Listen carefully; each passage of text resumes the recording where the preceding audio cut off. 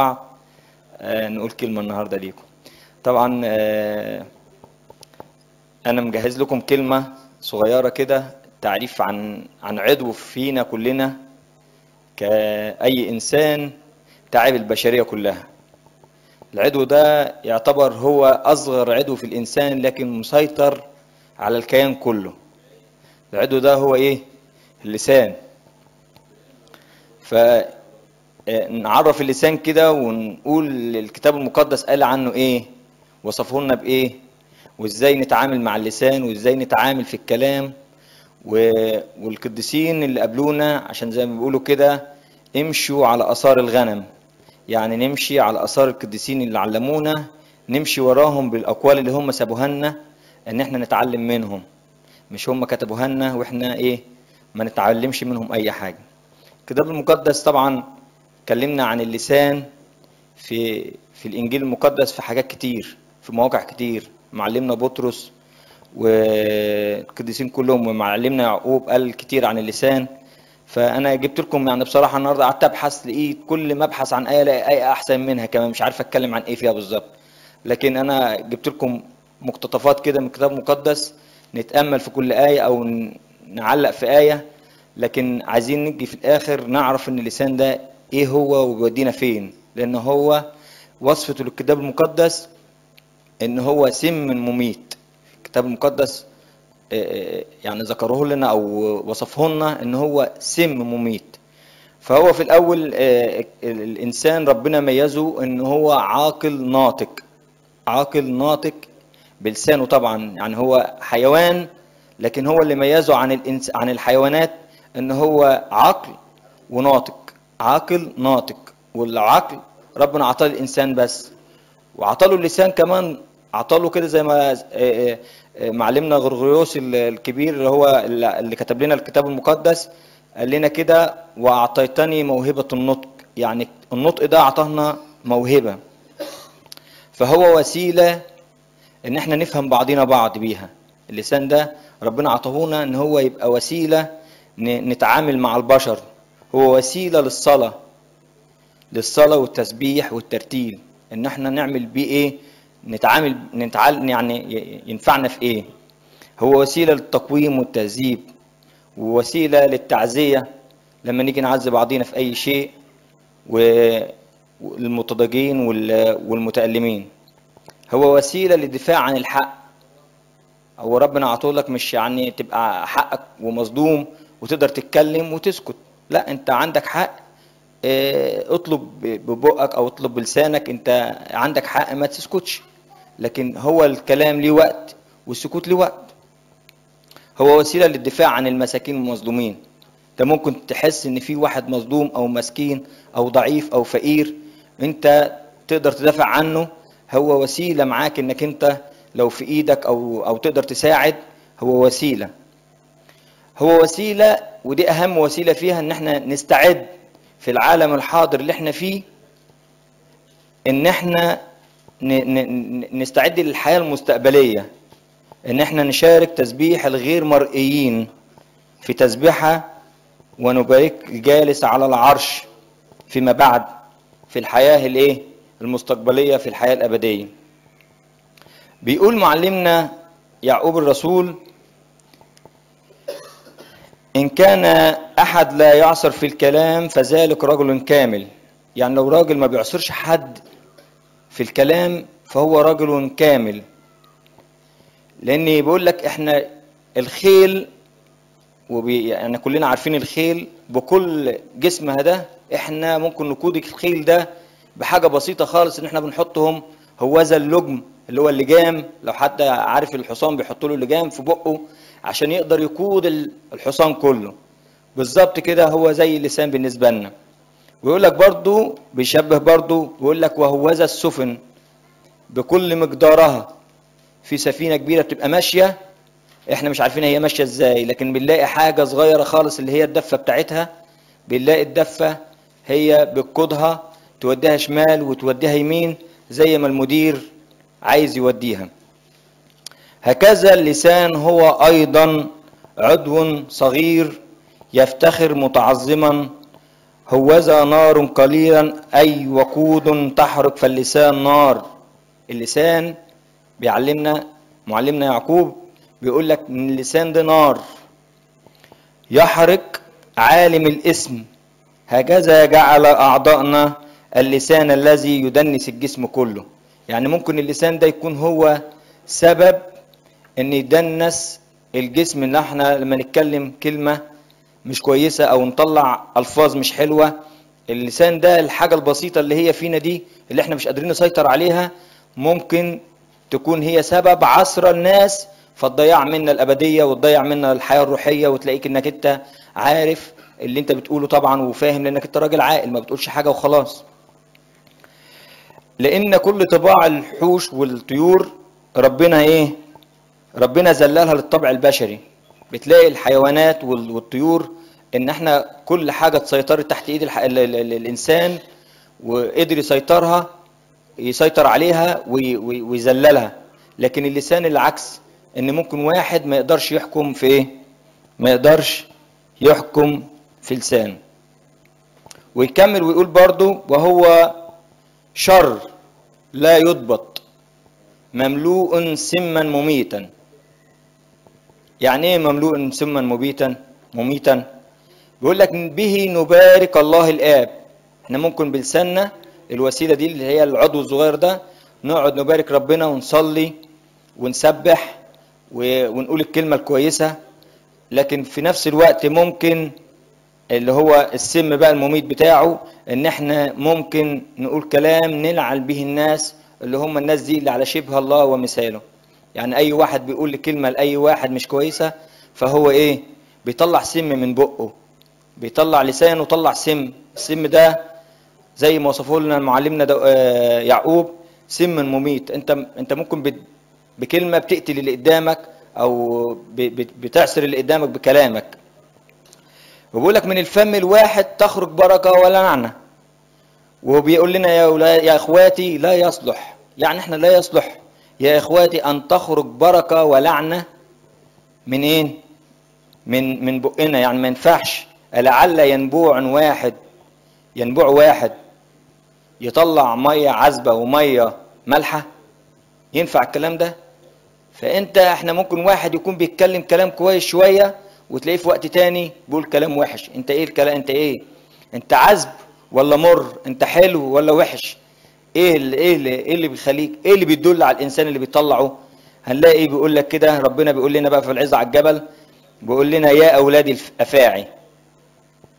إيه، السيد المسيح نفسه رب المجد نفسه بيقول لنا يا أولاد الأفاعي. يا أولاد الأفاعي يعني كلمة كده يعني إيه؟ يا أولاد التعابين. يعني أنتوا مل...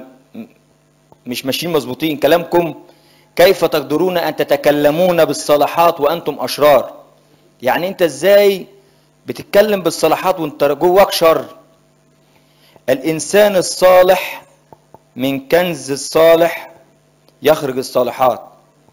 يعني الإنسان اللي قلبه فيه صلاح من جوه تلقاه بيخرج الإيه؟ الصلاحات ولكن أقول لكم كل كلمة بطالة يتكلم بها الناس سوف يعطون عنها حساب. يعني أنت تعمل حسابك إنك أنت الكلام اللي بتقوله بيدل عليك بكلامك تتبرر وبكلامك يحكم عليك. أنت بتقول إيه؟ الكلام اللي أنت بتقوله في أنت قاعد في قاعدة ولا في بيت ولا في الكنيسة أنت بتقول إيه؟ كلمة البطالة. عارف يعني إيه كلمة بطالة؟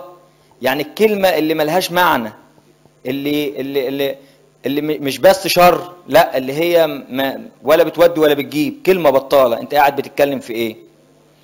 فبقول لك ان من كنز قلبك أنت بتطلع. وفي مثل كده صعيدي أنا سمعته من سيدنا يقول لك آه، اللي في الدست تطلعوا المغرفة. ده مثل صعيدي يعني. يعني إيه اللي في الدست تطلعوا المغرفة؟ يعني اللي في ال- يعني اللي في الحلة الغويط تحت إيه اللي تجيبه؟ ال- ال- المغرفة. المغرفة دي اللي هي تجيب أي حاجة مش مش جايباها اللسان ده يجيب كل اللي جواك. لو انت قاعد وبتحكي مع واحد ومع كتر كلامك انك بتتكلم هتلاقي انك جواك بتجيب اللي عندك. وهو كلامك اللي هيحكم عليك انك انت كده. انت بتتكلم في إيه؟ كلامك كويس؟ كلامك كويس بيبقى بيدل عليك انك انت إيه؟ انسان صالح. لو كلامك شرير وبيتكلم في تفاهات وبيتكلم في حاجات كده مش كويسة يبقى انت سامحني جواك مش كويس. فيقول لك لأنكم بكلامكم تتبرر وبكلامك تدان. وبيقول معلمنا داود في المزمور صن لسانك عن الشر صن لسانك عن الشر وشفتاك عن التكلم بالغش. يعني يا ريت كل واحد يصين لسانه عن الشر ما يتكلمش في كلام في شر. وشفتاك ما تغشش. ممكن واحد كده يكون بيتكلم أو زي ما بيقول لك يعني شعب يعبدني وأما بشفتاه وأما قلبه مبتعد كل البعد. بتلاقي واحد يعني سامحني يعني. لكن الإنسان ما يغشش بشفتاه. ما تغشش بشفتاه. أنت تغش مين؟ هتغش ربنا؟ مش هتغش ربنا. يقول معلمنا بيقول برضو معلمنا داود معلمنا يعقوب اذا يا إخواتي ليكن كل إنسان فينا. أنا بتكلم على على نفسي. مسرعا في الاستماع مبطئا في التكلم مبطئا في الغضب لأن غضب الإنسان لا يصنع بر الله. بيقول يا إخواتي كل واحد فينا لازما يكون مسرعا مسرعا في الاستماع. يعني يستمع كويس قبل ما يتكلم. مبطئا في التكلم.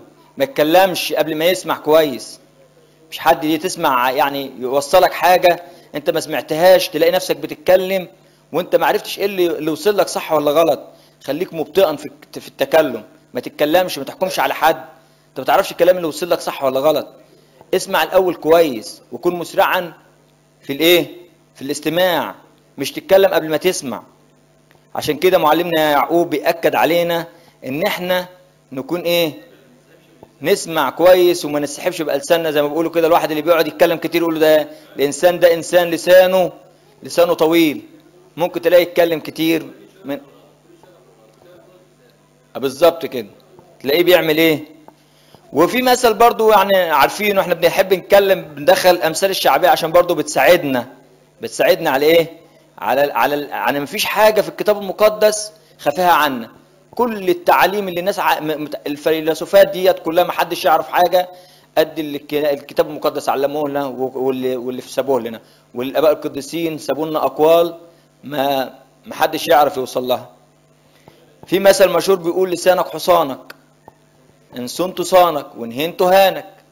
هل أنت فعلا لسانك حصانك يعني أنت لازم تتحكم في حصانك؟ زي ما إحنا كنا دلوقتي بنتكلم عن اللجام. هل انت بتلجم لسانك؟ بتلجم لسانك انك انت ما تقدرش تتكلم في الشر؟ ولا بتتكلم عمال على بطال ومش فارق معاك بتتكلم فين؟ بيقول لك أربعة يمكن هم اللي مسيطر عليهم اللسان. الأربعة دول اللسان يكون هو هو المتسلط عليهم. الموت والحياة والخير والشر. اللسان ممكن يوديك في ستين داهية زي ما تقول كده يوديك للخطية اللي هي الموت اللي هي أجرتها موت ويوديك للحياة في الملكوت وممكن يدخلك في الشر في الأرض اللي أنت فيها بسبب لسانك. وممكن تلاقي نفسك بتعمل خير بلسانك إنك أنت تتعامل وتتكلم مع الناس بأسلوب يليق إنك أنت إنسان مسيحي بيدل يروا أعمالكم الصالحة فيمجدوا أباكم الذي في السماوات. أنت بتتعلم إزاي وبتتكلم إزاي؟ فبتدل على اللي قدامك إنك أنت إنسان مسيحي كلامك كله للخير. ما بتدورش إنك أنت تتكلم في شر. ما بتحرضش على حاجة. ما بتقولش لواحد كلمة أو تنمي على حد. مرة من المرات كانوا بيسألوا الأنبا يؤنس إنك أنت شفت شفت إيدين ابونا فانوس بتنور؟ قال لهم أقول لكم على حاجة واحدة بس. أكتر من أنبا. أبونا فانوس إيديه بتنور. حاجة واحدة أقولها لكم. إن الراجل ده عمره ما اتكلم على أي إنسان. ما اتكلمش كلمة بره في أي موضوع خارجي ولا أي موضوع كده. ما كانش بيتكلم كلام في الفاضي. فدي أكتر من إن نكون إيديه بتنور. ده تكتفي. والإنسان اللي يضبط لسانه فعلا يقول لك ضابط نفسه خير من ضابط مدينة. هو اللي يضبط نفسه ده مين؟ اللي يضبط لسانه. اللي يقدر يضبط لسانه هيقدر يضبط نفسه. يقدر يضبط كل حاجة يقدر يضبط شهواته. اللي ما يضبطش لسانه ويبقى قاعد في المكان يقدر يقعد ساكت أو يقعد يستمع أو يقعد بخشوع في الكنيسة مثلا تلقاه ده ما يقدرش يضبط نفسه في حاجات كتيرة تاني كتير في كل شيء. يقول القديس يشوع ابن صراخ إن نفخة إن نفخت في الشرارة تضرم وإن بصقت عليها تطفأ.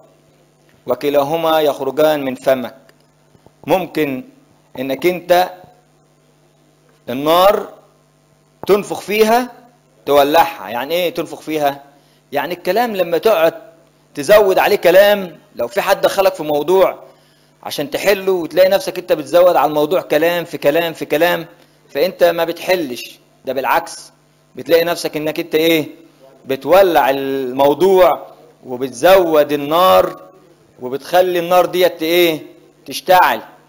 لكن انك انت لو بصقت على النار دي هتطفيها انك انت بتهدي الموضوع ووقفت فعلا قلت كلمة في الخير هنا وقلت كلمة في الخير هنا أصبح الموضوع انت طفيت النار اللي كان اللي كنت انت إيه داخل في وسطيها وكانت السبب انت في طفيانها والاثنين بيخرجوا من فم واحد. يعني النفخة بتطلع من البق وإن بصقت على النار برضو بتطلع من البق بس هي كل الموضوع إنك أنت إيه؟ إنك أنت هتعمل إيه؟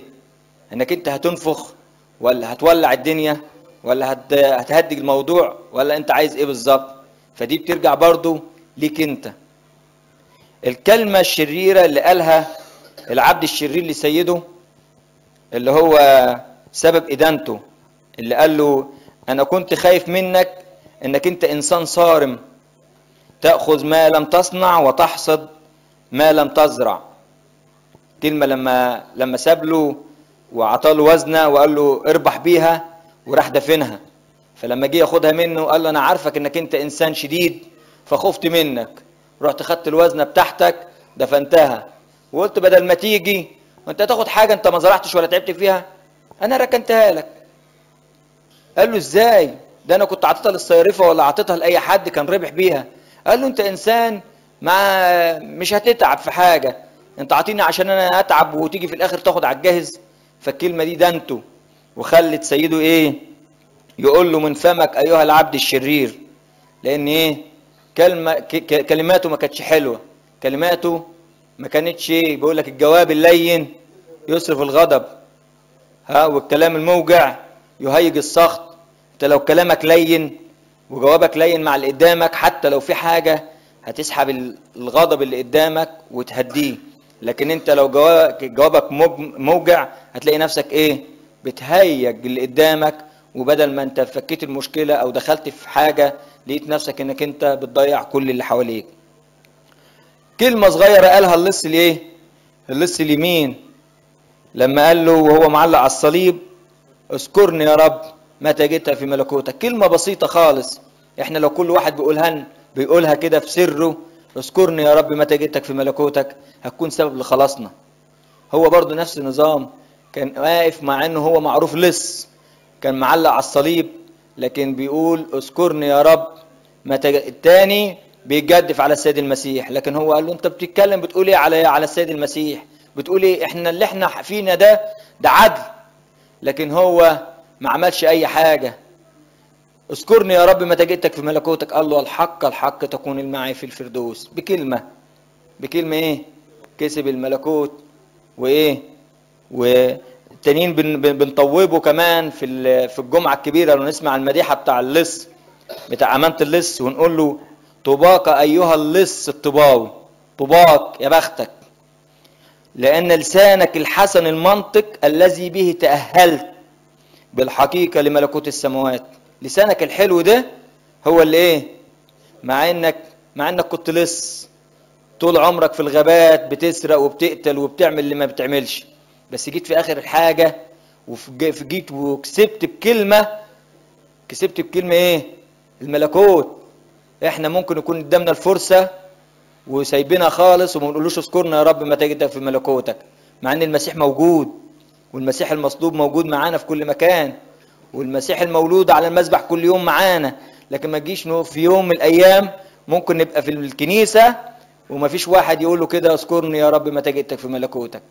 تلاقيني ملهي مع اللي جنبي عايز أكلمه أتكلم في التليفون ده الكلام اللي ضيعنا. ده الكلام اللي ضيعنا. لكن أنا لو عايز أدور على خلاص نفسي بالحق وألحق نفسي وأخلص نفسي وأخلص أهلي واخلص كل اللي أقدر عليه. واقول قول كلمه حلوة خلي لسانك حلوة. ده اللص. كسب الملكوت بإيه؟ بكلمة. قال له اذكرني يا رب متى جئتك في ملكوتك. هل إحنا نقدر إن إحنا نكون لساننا حتى زي اللص؟ طبعا إحنا ما فيش واحد مننا مهما كانت خطاياه عمل زي إيه؟ زي اللص اللي, اللي اتصلب. لكن هو قدم توبة في آخر لحظة في حياته. وقدم وطلب من ربنا إن هو إيه إن هو. يذكره في ملكوته وذكره وقال له تكون اليوم ويعتبر من ضمن أوائل الناس اللي دخلوا الملكوت هو اللص اليمين آدم بسبب أبونا آدم يمكن من أوائل. من أول الخليقة يعني ردوا بلسان ملتوي ولم يعتذر عن خطاه يعني ما اعتذرش. يعني كان ممكن يعتذر عن خطايا لكن ما اعتذرش عن خطيئته. وكان برضو رد قايين برضو ابنه اللي قتل هابيل لما سألوا الرب قال له فين أخوك؟ قال له برضو بلسان ملتوي. احارس أنا لاخي برضو بلسان إيه؟ ملتوي. لسان الملتوي ده ممكن يودينا إيه؟ يودينا في سكة تانية خالص. يشوع ابن سراخ يقول لنا برضو عن اللسان جراح الصوت يختش الجسد أما جراح اللسان فيدق العظام. يعني الجرح بتاع الصوت اللي هو الكرباج بيعور. لكن انت بتعرفش انك انت ممكن بلسانك تقول لواحد كلمة تكسر له عظمه. تحبطه في الحياة. تقول له كلمة آه مش لازم تضربه. كلام عليه مرات بيبقى أكتر من الضرب. آه يكسر العظام. ده الكلام ده كتاب مقدس. مفيش حد بيقوله من عنده. كثيرون سقطوا من فم السيف وليس كالمقتولين باللسان. يعني كتير اتقتلوا بالسيف لكن مش زي اللي اتقتلوا باللسان. أخير للإنسان أن يسقط في مكان عالي على الأرض ولا يسقط من لسانه. يعني الواحد ممكن يقع من فوق من أي حتة عالية يقع يتكسر خير ليه أحسن ما يسقط في لسانه. ممكن يغلط مع واحد غلطة بلسانه يفضل شايلها له طول العمر ويقول يا ريتني كنت وقعت اتكسرت والكلمة دي ما طلعتش. ليه؟ لأنك كلمة اتحسبت عليك. كلمة قلتها اتسجلت عليك. العقل الباطن بتاعه واللي اللي قدامك خلاص سجلها عمره ما ينساها لك حتى لو هو إيه يعني بتقول يا ريتني أنا ما كنتش قلتها ما خلاص حتى لو اتأسفت برضه بتلاقي الكلمة سابت أثر في قلب اللي قدامك. بطرس لما صلته بالسيد المسيح كان مع إنه صلته بالسيد المسيح مع إنه أنكر لكنه قالوا له لغتك تظهرك. يعني يعني هو حاول ينكر المسيح بلسانه لكن هم قالوا له لغتك تظهرك. انت جليلي. لسانك باين عليك انك انت إيه؟ انت زي المسيح أو جليلي زي المسيح. هو أنكر حاول ينكر المسيح لكن بلسانه أو بصوته أو بلغته أظهرته. زي ما إحنا يعني الكتاب المقدس عرفنا يعني إيه اللسان ووصف لنا اللسان. في شوية حاجات برضو يعني آداب آداب في الحديث سليمان الحكيم كلمنا على كذا حاجة إن إحنا إزاي نبقى في الكلام بتاعنا. ده سليمان الحكيم. قال لكل شيء زمان ولكل أمر تحت السماء وقت. للسكوت وقت والتكلم وقت.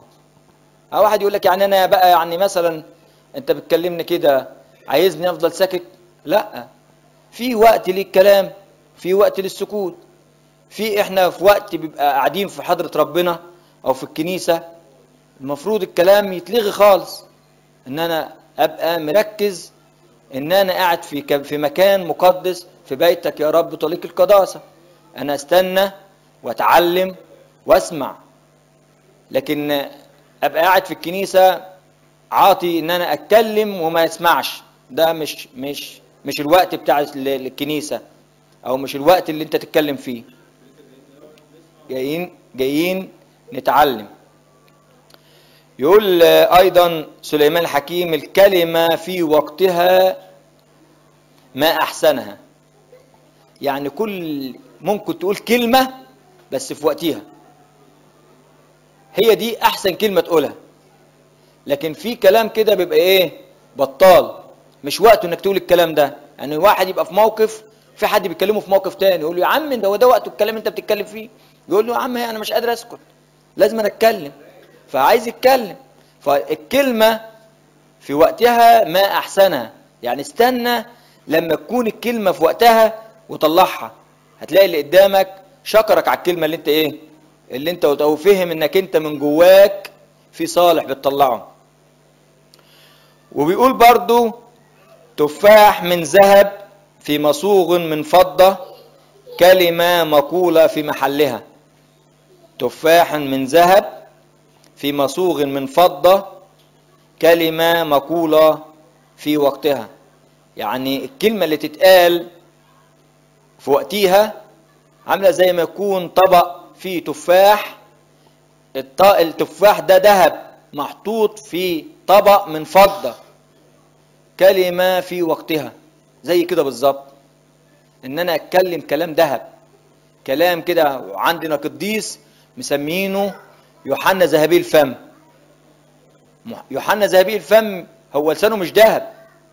لكن هو كان بيطلع كلام من بقه عبارة عن ذهب لقالق البابا شنودة لحد النهاردة نقول كلامه لقالق من ذهب. كنوز لا تفنى. ليه؟ كان كلامه عظاته بيعلم المسكونة كلها بل علم العالم كله.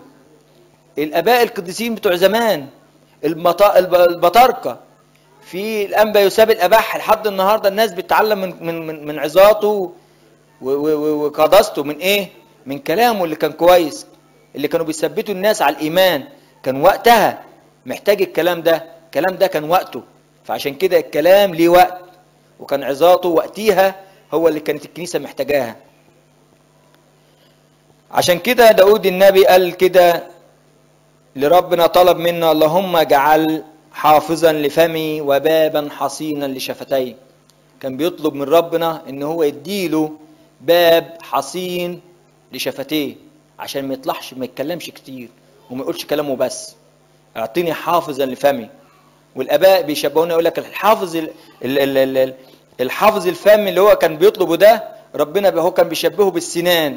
السنان دي هي اللي كانت حافظة لسانه والشفايف دي هي البرج الحصين أو حصنا لشفتيه. حصن ما يطلعش أي كلام. القديس ارسانيوس معلم أولاد الملوك يقول لنا إيه؟ كثيرا ما تكلمت وندمت وأما عن السكوت فلن أندم ابدا. مفيش حد يقعد في أي مكان وما اتكلمش ويطلع. لو حصل إيه؟ بعد ما يطلع ما يندمش إن هو قاعد ساكت. لأن هو قعدته الساكت مهما كان. ومهما يحصل قعدته في سكوته عمره ما يندم عليها. لكن الكلام بعد ما يطلع لو اتكلم كلمة كده ولا كده أكيد أكيد أكيد هيندم عليها. فيقول لك إيه؟ تكلمت كثيرا فندمت وأما عن السكوت لم إيه؟ لم أندم قط. قديس أمبروسيوس يقول الرجل الصامت زمنا طويلا يتنبأ. هذا هو ملء النعمة. ربنا اديله نعمة عشان كده يتنبأ. الرجل الصامت زمانا طويلا يتنبأ. بس مين اللي يقدر يستحمل ويديله ما كانش ربنا يديله النعمة إيه؟ إن هو يقعد ساكت وما يتكلمش في أي في أي أمور إن ما كانش ربنا عطيله ملء النعمة من الله التي جعلت من الناكرين المتشككين ممجدين لله. يمكن أكتر الناس اللي كانت بتقرب بتوصل لربنا وهم كانوا بعاد إن كانوا بيتأملوا. نبص على القديس موسى الأسود نلقى ان هو كان بيتأمل فينك يا رب؟ أنا مش عارف أوصل لك. كان بيقعد يستنى كده. هل الشمس هو ربنا؟ طب لو كنت أنت الشمس اعلن ذاتك. يبدأ يعرف إن هو إيه؟ إن مش الشمس. لحد ما يجيله السقط انه يقول له إيه؟ إنه يقول له خش البرية وروح برية شهيد. هتلاقي إيه؟ أباء رهبان. هيعرفوك مين هو الإيه؟ الإله الحقيقي. من إيه؟ تأمله. تأمل ده بيبقى إيه؟ فترة صمت. في نصائح برضو عن عن الكلام بيقول لك فكر جيدا قبل أن تتكلم. فقد تستغني كثيرا عن كثرة من الكلام الذي كنت ستتفوه بالإنسان خلق له أذنا أذنان وفم واحد. يعني أنت قبل ما تتكلم قبل ما تتكلم اقعد كده مع نفسك شوف الكلام اللي انت تقوله ما تتفوهش بالكلام وبس. لأن ربنا عطانا أذنان لكن عطانا إيه؟ فم واحد. ليكن كل إنسان مسرعا في الاستماع مبطئا في التكلم. كذلك لا تتسرع في إجابة سؤال قبل أن تستوعبه جيدا. يعني ما تجاوبش واحد يقول لك سؤال أو يقول لك حاجة أو يسألك على حاجة ما تستعجلش في إجابته إلا لما إيه؟ إلا لما تسمعه كويس. من يجوء آه. استوعب الكلام الأول وبعد كده رد على السؤال. إن كنت تعرف توجهه قول له مش عارف قول له مش عارف. لكن انت ما إيه؟ ما تستعجلش من غير إيه؟ من غير ما تسمع. يعني ممكن واحد يسألك حاجة تكون انت مش عارف أصلا الشارع اللي بيسألك عليه فين وما سمعتش أصلا بيقول لك فين وتقول له شمال أو يمين. طب ما انت اسمع منه كويس وبعد كده رد عليه. بس. من يجب عن أمر قبل أن يسمعه فله حماقة ونار وعار. من يجيب عن أمر قبل أن يسمعه فله حماقة وعار. تكلم بصوت منخفض يعني لما تيجي تتكلم مع حد تتكلم بصوت منخفض قدر ما يسمعك. يعني ما تبقاش قاعد مع واحد في أوضة أو قاعد مع حد في مكان أنتوا الاثنين جنب بعضيكم وصوتك صوتك عالي. لا اتكلم بصوت على قد ما هو يقدر يسمعك. منخفض زي ما قالوا كده على المسيح إيه؟ إنه لا يصيح ولا يسمع أحد في الشوارع صوته. ما تقلدش حد في الكلام. تقعدش تقلد واحد وتخاطب واحد وتايه إنك أنت إيه؟ وانت كلمت لو حبيت تتكلم مع حد ما تقعدش تطيل بدون تطيل في الكلام بدون حجة. فالرد بكلمة واحدة أفضل من إيه؟ أفضل من 100 كلمة. يعني ممكن تقول لواحد كلمتين مختصرين. ما تقعدش بقى إيه تقول له اللي تقوله له تعيده له وتقول له كلمة واحدة أبرك من جرنان زي ما بيقول. احذر احذر اللف والدوران في كلامك. ما تخليكش تبقى إيه؟ تكون مكار في الكلام بتاعك. خلي كلامك ما فيهوش لف ودوران لأن الكلام لو لفيت ودورت في الكلام بتاعك يدل على المكر والخبث. فلك فكن صريحا في حديثك. يعني خليك صريح في حديثك ما تقعدش تلف وتدور على حد. كثرة الكلام لا تخلو من المعصية. ما نتكلمش كتير في كلام في الفاضي لأنك أنت لو قعدت تتكلم كتير كتير كتير أكيد هتلاقي نفسك إيه؟ هتلاقي نفسك غلطت. ممكن واحد يكلم واحد في التليفون انت مش عارف ظروفه إيه. كان نايم كان صاحي راكب العربية سايق أي تلاقيه يتكلم في التليفون بمجرد ما فتح عليه مش عايز يفصل معاه. طب يا عم انت عارف ظروف الراجل كفاية عليه قول له كلمتين مختصرين. تلاقيه إيه يطول معاك ما تطولش مع حد في الكلام. إن ما كانش إيه إن ما كانش الموضوع مستاهل يعني. لأن الكلام الكتير إيه لا يخلو من معصية. لا تقاطع غيرك أثناء كلامه. ما يبقاش في واحد بيتكلم وانت قاعد عمال تقاطعه في الكلام. واحد بيكلمك بيتكلم إيه؟ بيتكلم معاك وانت تيجي قاطعه في الكلام. ده, ده مش آداب مش آداب يعني مش آداب عامة ولا آداب اتضاع في المسيحية. لا تزيد على سؤال لا ترد عن سؤال موجه لغيرك. واحد بيتكلم واحد بعيد عنك خالص وانت قاعد سامع السؤال اللي بيقوله فرحت انت رد عليه. انت ما تجاوبش انت مالك؟ لأنك انت كده هتبقى متطفل أو متكبر. خليك إيه؟ يقول القديس الانبا بخوميوس إن كنت تعرف كل الحكمة فاجعل كلامك آخر الكل. يعني ده مقولة الانبا بخوميوس الشايب اللي هو أب الشركة بيقول لنا إن كنت تعرف كل الحكمة فاجعل كلامك آخر واحد. خليك متضع في كلامك واسمع وفي الآخر أنت لو ليك كلمة وعارف تتكلم أو هتتكلم كلمة كويسة اتكلم. خليك إيه ما يبقاش في ناس كبيرة قاعدة وأنا تلاقيني أنا إيه اللي مسحوب وأنا اللي بتكلم في كل حاجة. إذا تكلمت فلا داعي من استخدام أعضائك بحركات غير عادية. كعينيك أو إيديك أو شفتيك. يعني مش قاعد تلاقي نفسك عمال تشوح للي قدامك وتجيب من هنا وتودي من هنا وتلاقي نفسك شوية بتغمز له وشوية بت...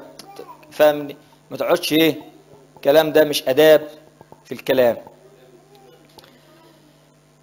لا تكن كثرة الكلام لا تكن كثير الكلام.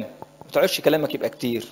الكلام اللي كتير انت الأيام ديت في ك... في يعني إيه؟ عبارات كده يقول لك إيه؟ عمال يهري عمال. بيجي بيجيب من شرق الغرب. ده مش عارف كلامه كتير. ده رغاي. ده. كلام من ده كله. ما تخليش كلامك كتير. إن قعدت تتكلم خلي كلامك إيه؟ مقل ودل.